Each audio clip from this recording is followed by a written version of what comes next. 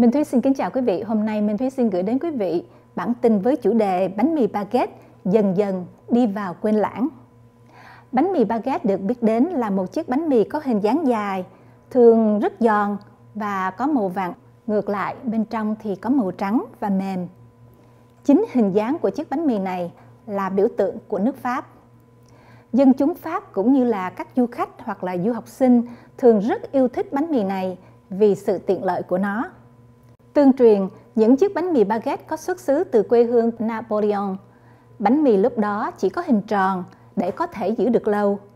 Hình dạng ngày nay được tạo ra bởi một ờ, thợ làm bánh của vua Napoleon với mục đích là để cho đội quân có thể vận chuyển dễ dàng trong các cuộc hành quân.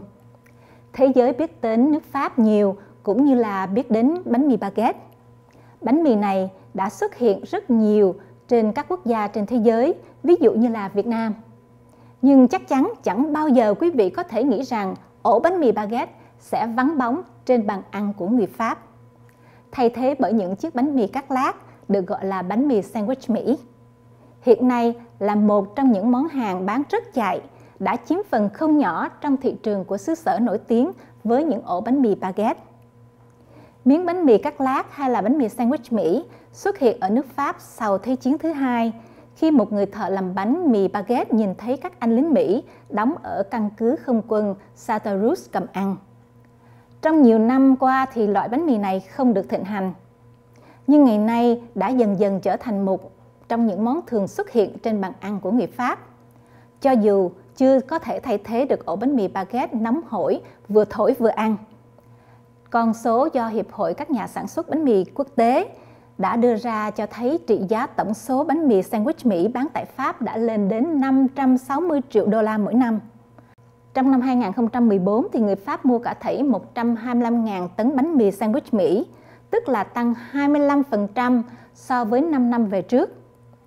Hiệp hội còn cho hay là hàng năm người Pháp mua cả thảy 2 tỷ ổ bánh mì kẹp thịt hoặc là phô mai, mà trong đó có tới 1 phần 3 là bánh mì sandwich Mỹ. Điều này chứng tỏ dân Tây ăn bánh mì Mỹ càng ngày càng nhiều, không còn thấy cảnh người Pháp ăn bánh mì baguette như trước nữa. Tại sao người Pháp lại bắt đầu thích bánh mì sandwich Mỹ?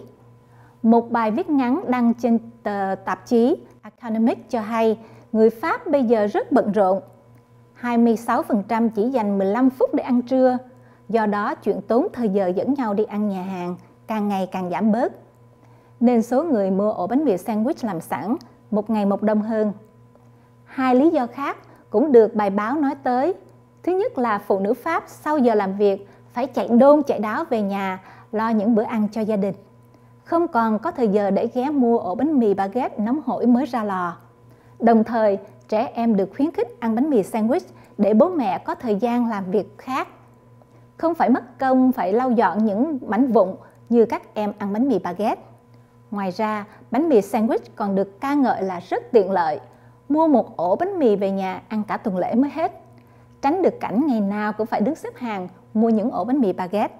Bà Geraldine Fireakers, giám đốc tiếp thị của công ty bánh mì Barala, cho rằng những yếu tố vừa tiện vừa lợi đó, chuyện người Tây thích ăn bánh mì sandwich Mỹ là điều chẳng ai ngạc nhiên. Cảm ơn quý vị vừa theo dõi. Minh Thuy xin kính chào và hẹn gặp lại quý vị trong chương trình lần sau.